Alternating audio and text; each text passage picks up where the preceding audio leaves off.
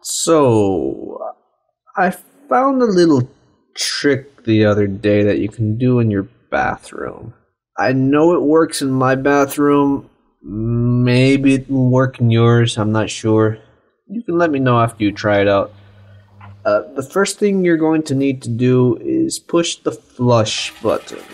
And then you follow this up with a squeeze of the handle of the bidet. And quickly follow it by turning on the tap for a second. Did you hear that? Yeah, something's going on. So yeah, check this out. I go, I open my door, and whoa, what the heck? Where am I? Some crummy basement? You hear that again? Came from this door. Let's open it up. Whoa. I don't know where I am now. It's kind of neat.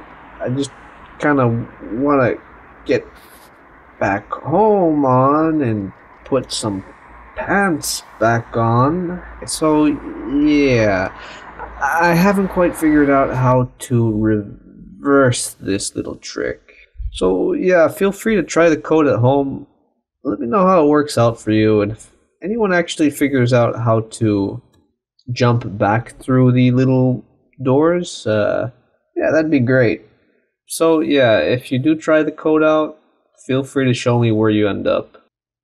Remember, no matter where you are in the world, good day, good night, bye bye.